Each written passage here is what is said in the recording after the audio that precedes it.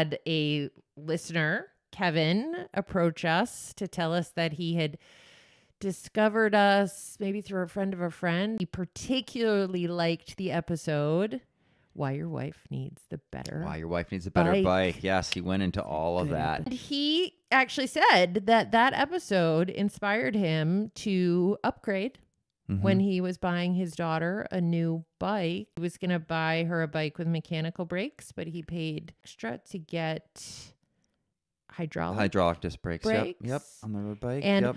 why is that a what what kind of why is that a good upgrade? Mechanical disc brakes, they don't have the stopping power. They don't compensate for pad wear either. So you have to constantly, as the pads get thinner, the lever throw gets further, and you have to adjust the brakes like, at, I have to calipers. squeeze so much for Yep. them to work.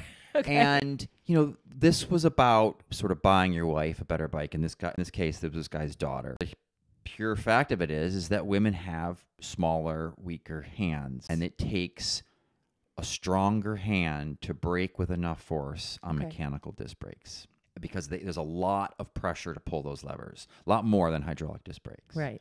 That's going to mean she's going to be very Yes. she's going to be that much happier. Braking is super important. Right. Yep. And if that is not the reason that we do this podcast, I Mm. honestly don't know. Like that alone Yeah. is is why I'm glad Mhm. we do the show.